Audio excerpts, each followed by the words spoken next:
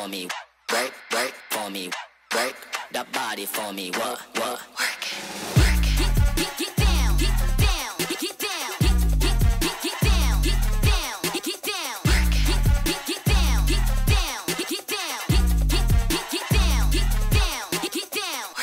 Good morning, ladies and gentlemen. Welcome back to a new week here at Home Cinema King channel. Um, last week we did the quick little one on the ultra high-end Barco projectors. Today we are bringing it down to what most of us use, and that is the Epson range. And this has been out for a while now. I've only been able to get my hands on it now. Big up to my friend Anthony. This is his unit. Um, I asked him nicely if I can quickly do an unboxing video on it and just do a quick side by side with the Epson LS11000. This is the LS12000B. B standing for black. Um, the 11,000 above me, my personal unit is white. They only come in the white. This one comes in the black. I prefer the black units, but if you are installing this on a bracket, you know, with a white ceiling, the white looks better. Um, otherwise, black will win hands down most of the other times. Black is the preferred color. So let's quickly go through the unboxing. Let's see what we get in the box. Then I'm going to be putting these up side by side. I'll show you side by side stills of the same. Um, I'm going to set them exactly the same as I set this one. And I'll put the way I set it up on screen. Um, I am by no means a professional calibrator. I am in the works to learn how to calibrate projectors professionally. But as most of you will know, it's not easy. It's it's quite a thing. But we did delve into it quite a bit with Barco, um, and as with this hobby, I'm going to teach myself how to calibrate a, uh, a projector professionally. And um, this will also be one of the last videos in this room. We are moving. I am taking this entire room apart. So if anyone wants a killer deal on a complete Klipsch THX cinema, hit me up. Um, I'm still not sure if I'm going to be selling this with the house. Um, this room specifically, I don't know. Am I going to be selling it with the house? Will the new client pay the additional for this? Um, that sort of thing. So until then, if anyone wants a THX system at a kill of a deal, let me know. Hit me up. Um, my details are in the description. Go through there. Make contact. Okay. Without further ado, let's get into the Epson LS12000. I don't know, did I touch on this? For those who don't know, this, the Epson projectors for me is still the way to go if you don't want to spend crazy money. Um, I've had all of the other ones. Epson just beats the Optoma on black level. Um, where the Optoma I think might be better is on the very quick frame rates for gaming, but this is still a 4K 120 projector. Um, so this is still where my money is going to go. These are phenomenal, phenomenal units. The biggest pro for me is the color. The color and then um, the black level. So this is also where I think this might beat the 11,000 because they're very similar in spec. This has higher lumens. Again, I'll post the spec side by side so you guys can see. Uh, let me get this side. Going to move this. You know what? I'm gonna take out of the box and put them down there.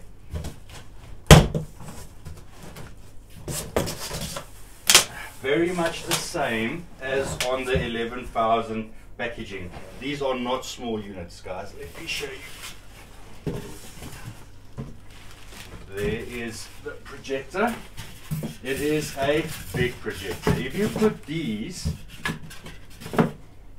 if you put these side by side with a Optoma or the like, this will dwarf it.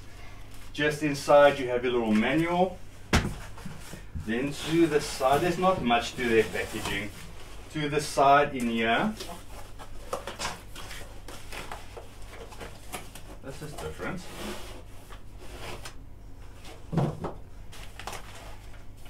What's this little plastic tray? I'll have a look now. There's the Epson projector, same projector, power cables. I'm not sure what this tray is.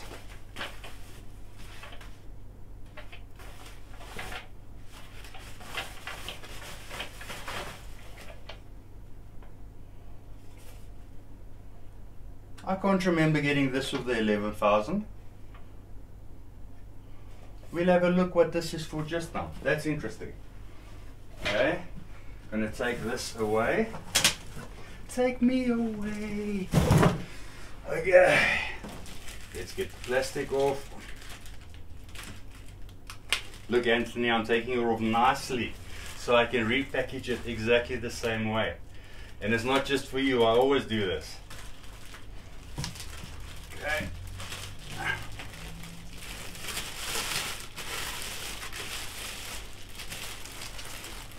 I like the black. Black's very cool. I'm gonna put the two projectors side by side so you guys can see. There we go. Some additional extra plastic just to protect the vents and all of that. Um, lens cover in front. All of these Epson projectors from the 9.4, um, the 11,000, 12,000, I think even the 7.4, yes, has the motorized electric lens. Well, the 7.4, I can't remember. I've done a video on that. Just go back. I can't recall if that was a motorized lens. Might be. But that's what I love about the Epson. It's the only projector at this price point that does come with the motorized lens.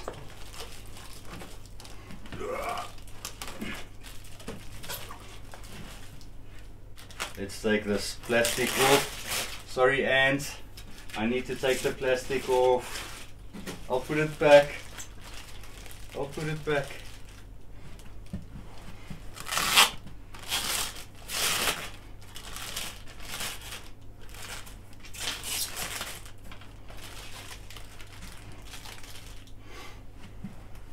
Okay, so at the back of the projector, we have our USB 5 volt 2.0A. We have a service, trigger out, LAN cable, Optoma HDMI 300MA, HDMI 1, HDMI 2, eARC ARC for HDMI 2, RS232C controller if you need that. Power cable always hidden at the bottom. Here are some um, lens functions and where you would set all of that up. It's at the back, so it's quite tricky. You're never going to be able to get there once that is mounted. I want to see the differences on the 11,000. But let's take on top. We have this again, same as on the 11,000. It's black, but it's got this like ruffled up industrial type of plastic. Um, status laser temp, your LEDs when something does go wrong. 4K laser light source. As you guys don't know, the 11,000 and 12,000 is laser light source. Warnings on top. Don't look into the lasers, that's the warning. There's the front. Let's take the 11,000 down and see the differences. Okay, as you can see, these projectors from the front absolutely identical. Except for the color they are the same. Sorry for the white messing around of the focus there. This one is a bit dirty because it's my own um, and it was installed. So again black just keeps cleaner than the white does both of them are the free LCD 4K laser 4K laser being exactly the same. Let's have a look at the back. 100% identical. No differences. Same inputs. Same everything same dimensions. So let's see if the proof is in the pudding. Okay, so this is my 11,000 projector. Before we take it down, just quickly want to just go through so you guys can see um, the color pop, different contrasts.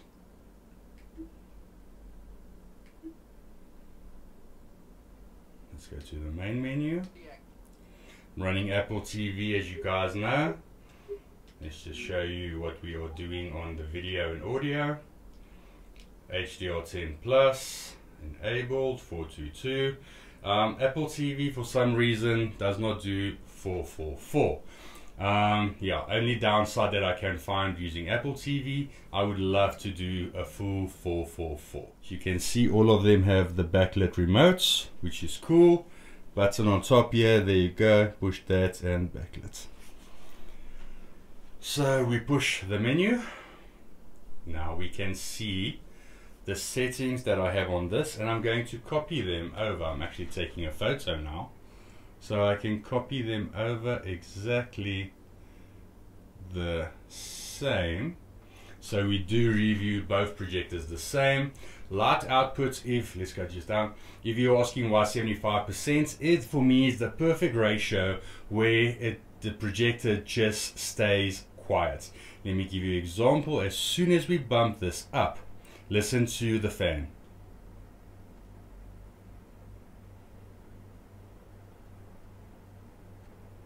It becomes noticeably louder. Just going down to 75.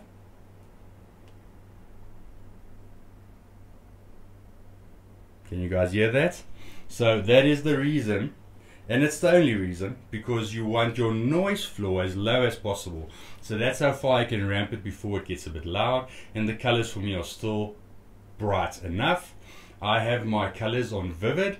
Many of you would ask why vivid. I did go down on certain places. I like that color pop. Um, you might find it different. You might like cinema.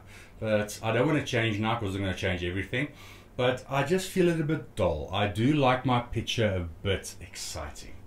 Brightness 55, contrast 50, saturation, tint, sharpness I think is down very low as well. 888 across the line. Um, I'm going to make all of these exactly the same. Let me just take a picture again so I can export my settings to be exactly the same.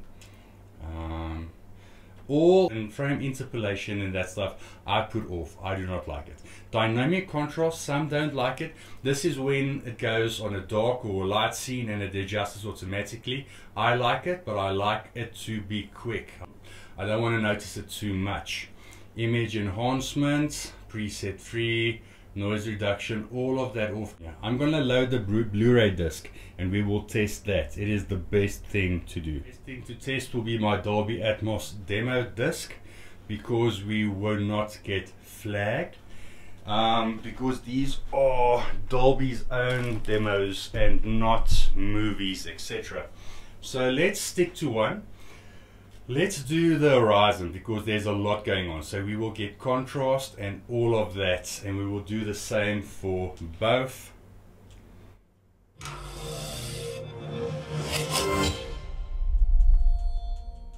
Right now, you're listening to where cinematic audio has been.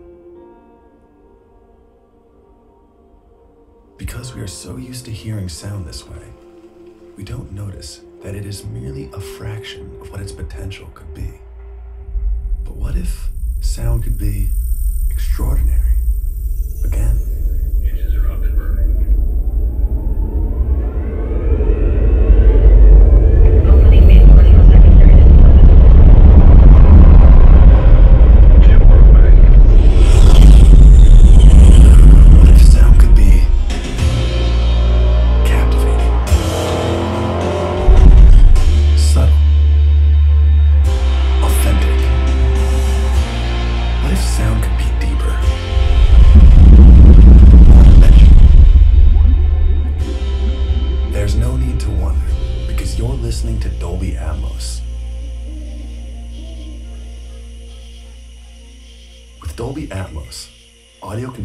Move in any direction within this theater, whether the sound sweeps from the back to all the way in front, arcs overhead,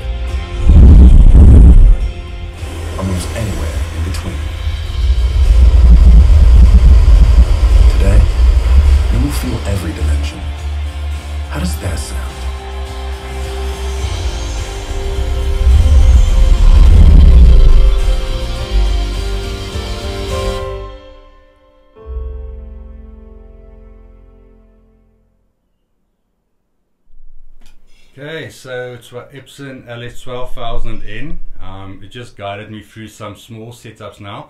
I thought, let me show you guys this. When you have a motorized lens, look how easy this now is to, you know, no getting up on the ladder anymore, getting these things, you know, bit left, bit right. Just sit here, motorize it, um, go through the different lens setups push lens, you'll get focus. Again, zoom, so I need to zoom out a little bit.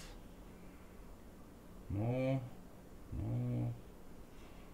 So then I push lens again and shift, and I can go a bit left. Can bring it down. So I'm still a bit over on the zoom, so we just push lens again till we get to the zoom. Go out bit more. I think that might be, mm, let's see. Down, left. Not going to do this super, super finicky because this is just to test and then it's going back. But the problem is I am OCD, so I'm going to get it quite close. So we, we more or less there. We're good enough to test. Okay, and that's how easy it is with a motorized lens um, done. So let's quickly just check the focus one more time. Go focus. So what I do on focus is try and look at the text. Go out and then go go out to both sides. See that's out to the one side, that's out to the other side. Now small increasements. Ah, there we go, out again, so back. There we go and that is sharp very nice. Um, so that's a basic setup. Now we can go completely out from that. And we can look at our other set well let's look at this out of the box quickly. I want to go back to the Apple stuff. So this is on Apple before we've done any changes now. Let's just see if it's stuck to my original thing here because the auto feature sometimes gets changed to 420 so we'll just change this back to 422. It's going to do its testing. There we go, 422. Okay, so out the box, this looks more or less the same. I am not noticing any big changes between the two.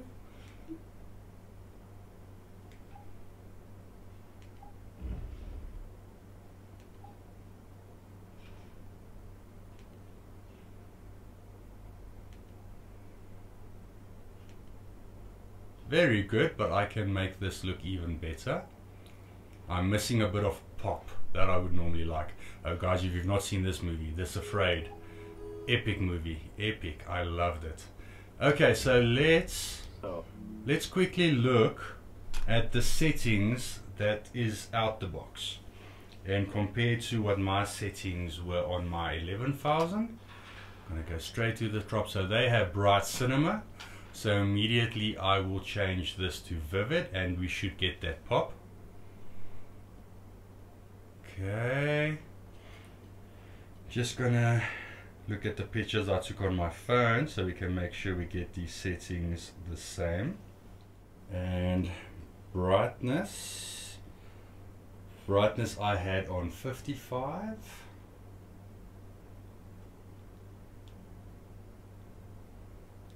Okay. Next. Contrast. Yeah, we leave that 50. Saturation. This is on 60. I mean, mine was on 60. Let's go up. Okay. Tint, we leave the same. What is the sharpness at? I had my sharpness all 8. Let's do them the same. White balance I didn't change. Frame interpolation, I had that at off.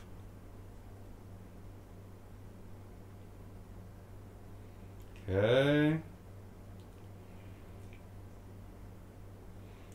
Then light output 75, the same. Dynamic contrast, high speed, the same image enhancements. This is at three um, MPEG, reduction. I have mine off. Then super resolution, well let's just go back. Um, auto contrast enhancement, mine is on 8. Okay. Okay, that should now all be exactly the same. Let's just go from the top one more time. 75 brightness, uh, 60. Okay, this looks all the same. I'm just going to scan over these just to see. Okay, there we have them set to exactly the same now. So let's, on the Apple, it's brighter. The image is definitely brighter. So on my settings, I can actually, the stuff that I ramped up for more pop, I can actually ramp down a little bit on this projector. Am I seeing a huge difference out of the box? Just, you know, not major, it's not hectic, um, but there's definitely, there is more contrast and there is more just more light output. It's just a brighter projector. Um, am I sold on it? Not yet. Let's jump let's jump into the demos we did. Yeah there's definitely a bit more pop to it. Let's do the Horizon demo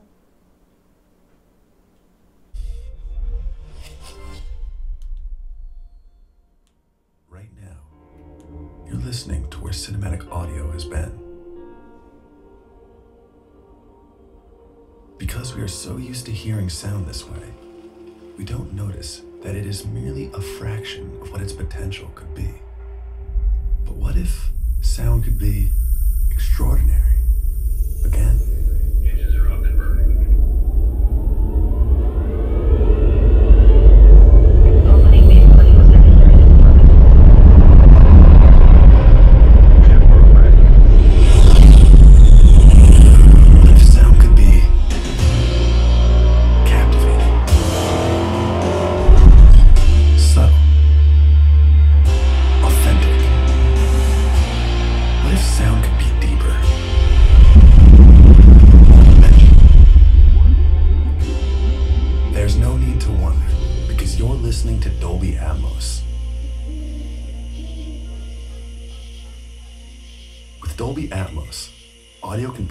move in any direction within this theater, whether the sound sweeps from the back to all the way in front, arcs overhead,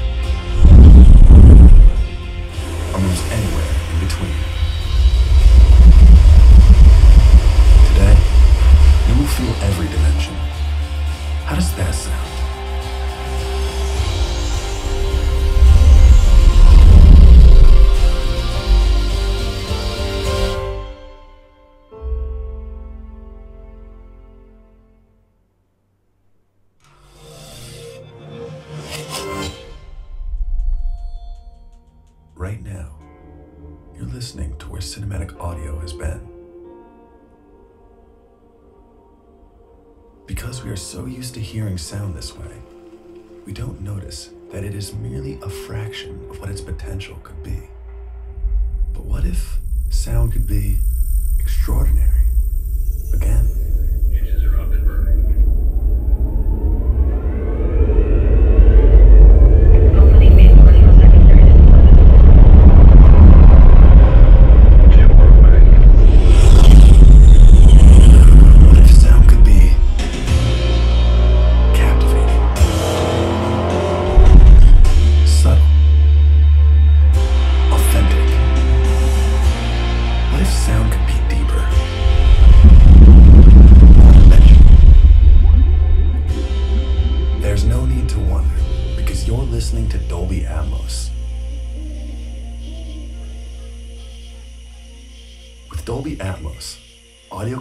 precisely move in any direction within this theater.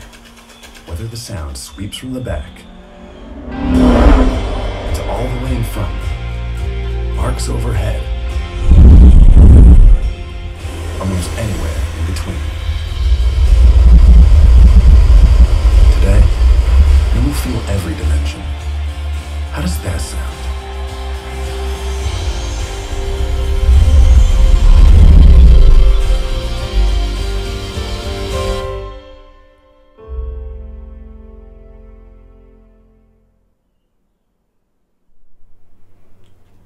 Yes, I definitely feel that on this projector I might run my settings a bit differently. I did keep them the same now so we can have, you know, apples with apples. But that being said, this might be good to go down to maybe bright cinema. Yeah, the contrast level is good. So on this projector, um, I know I'm going to get roasted by some of the guys while I'm running, running Vivid. I like my picture a bit exciting. And you know, I like a bit of pop there.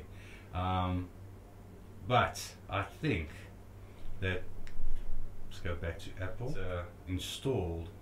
Um, yeah, this bright cinema might be it. I think that is very good for this projector. It looks very natural. Um, it's not oversaturated in color. I want a little bit more pop, but that one can play around um, to get more pop out of this projector.